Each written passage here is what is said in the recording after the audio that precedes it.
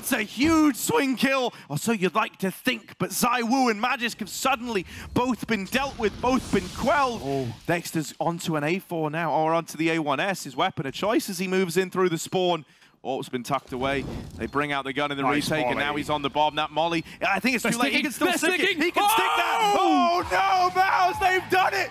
He sticks it in the fire, and he gets out. That's 2-1 for MOUZ. And for Vitality, they're now toeing that line between 1 BO3 away from elimination.